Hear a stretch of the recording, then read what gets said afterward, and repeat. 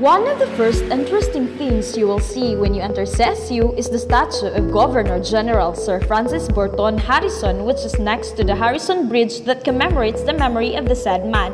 Across the street also stands the unfinished e-library. Meanwhile, if you want something cooler and greener in a way, the CSU Eco Park is for you. You can either walk along the main road or pay a short visit in the gym and continue along the said eco park.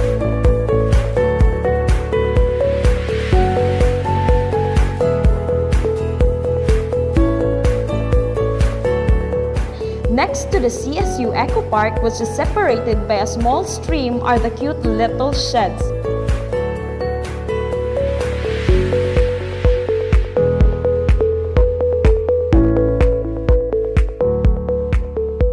You can sleep in it, unwind, and most of all, being the procrastinator you are, do last minute assignments.